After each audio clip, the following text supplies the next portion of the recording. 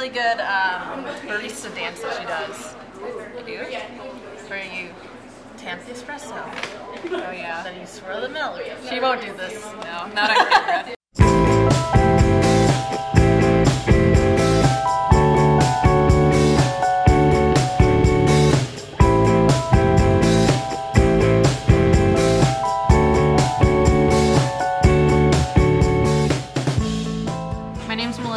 I'm the owner of Brewpoint Coffee. So in high school and college, I um, I worked at Starbucks. So I was a barista. I loved making drinks. Um, loved coffee myself, and uh, doing small business in general. Uh, with with a financial firm and things of that sort, I really found that coffee was a great foot in the door to um, be more community oriented with business. So I quit my corporate job, went to the Philippines for two months, and in a hot little house in the Philippines, I started dreaming up what would eventually become Brewpoint. Who is she? She's my wife. Uh, she just ran with it. She is a comet and a fireball and really, really fast. Um, yeah, she came up. It felt like the right fit. We both felt like after that first meeting with the previous owners that it was a really good fit, uh, which was kind of scary. And then once she decided to move forward with it, nothing was going to stop her. Yeah, I love it. It's always just such an adventure here. It's you never know what's gonna happen in a good way. It's definitely like a family in a weird way, or not in a weird way, but it's a weird family sort of mixture. Um, we call Melissa and Angelo mom and dad, um, and we are their children. They have lots of children apparently. yeah, we've been here quite a bit. We're here probably once a week at least. Yeah, at least once a week. Yeah. It's a really good relationship, I feel like. Um, they've building the place around community was really awesome. I really want Brewpoint to be an outpouring of the values that both Angela and I carry, and one of the biggest things for us is hospitality.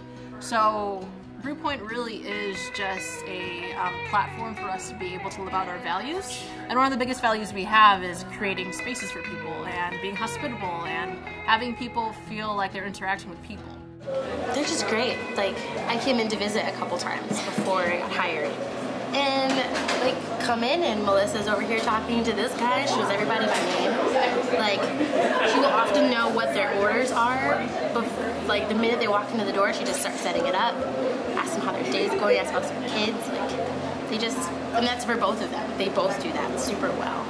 Uh, well, you can just see it here in Brewpoint, just how everybody can sit together. And everybody knows everybody, and I've met so many people just working here. It's been really cool.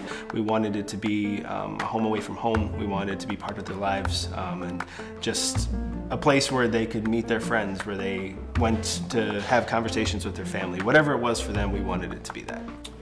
Uh, I really prize genuine interaction.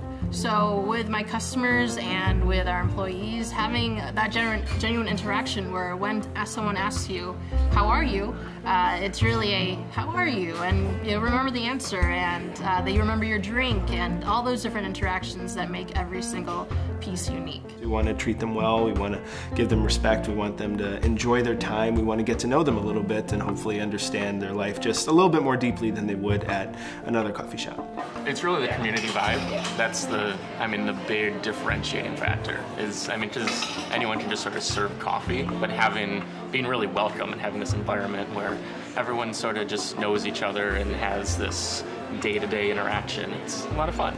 Um, and I know she's really working to foster that, especially for the employees, but also for the Elmhurst community at large. If someone tells me, hey, you can run this business, I tend to think, yeah, this will work, but I don't have a visualization of what that would look like, and what it looks like now is way more than I could have ever dreamed or hoped for.